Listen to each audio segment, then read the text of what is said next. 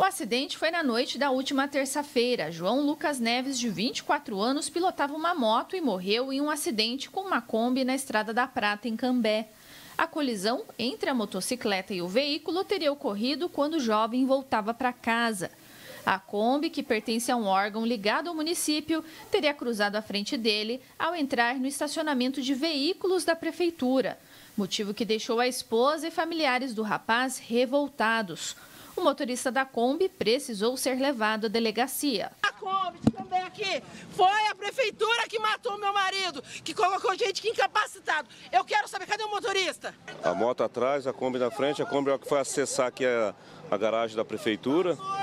É, acho que a moto foi ultrapassar e teve uma colisão lateral aí, transversal.